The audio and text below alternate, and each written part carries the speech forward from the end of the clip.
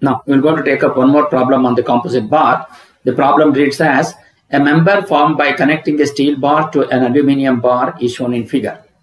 Assuming that the bars are prevented from buckling sideways, calculate the magnitude of the force P that will cause the total length of the member decrease by 0.3 mm.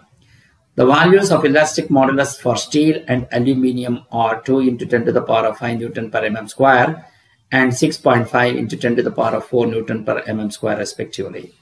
So here, this is a composite bar. One bar is made out of steel having an area of cross section as 60 mm by 60 mm and having a length of 200 mm.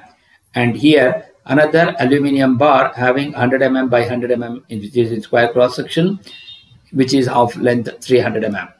Now, how to analyze this? So here he has given the total length of the member decreases by 0.3 so naturally the total compression of the bar which is delta LB will be equal to sum of the compressions of the individual cross sections of steel and aluminium bar. So that is equal to delta LS plus delta LA. So what is delta LS? That is equal to P into LS by AS into ES plus P into LA by AA into EA. So since we have the, the load which is acting on both the steel and the aluminum bar is out of made out of same uh, load which is equal to P. So that is the one which we have to find out. Therefore, you will going to have P as the common factor.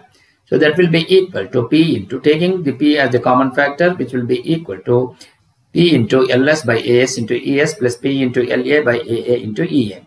So the total compression of the bar is given to be 0.3 that will be equal to P into Substituting the values, which is length of the steel bar is 200 divided by area of steel bar is 60 into 60 into Young's modulus of steel bar is 2 into 10 to the power of 5 plus 300 divided by area of aluminium bar is 100 by 100 into 6.5 into 10 to the power of 4.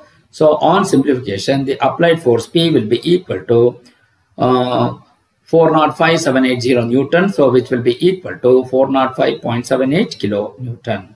So this is how you will be able to find out the applied force P which is applied on the member so that the member will going to be decreases by 0.3 on both steel and aluminium bar. Thank you.